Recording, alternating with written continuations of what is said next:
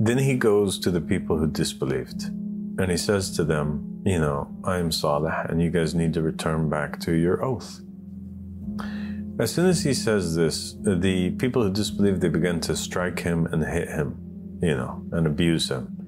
And they thought to themselves, my goodness, look at this Dajjal, look at this liar.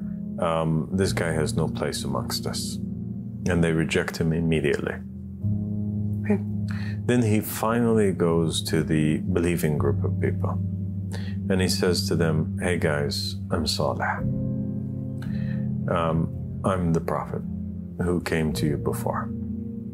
They think amongst one another and they speak amongst one another, the believing group.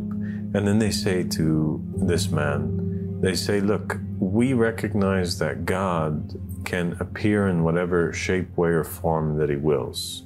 Okay? Okay. And he can make anything happen.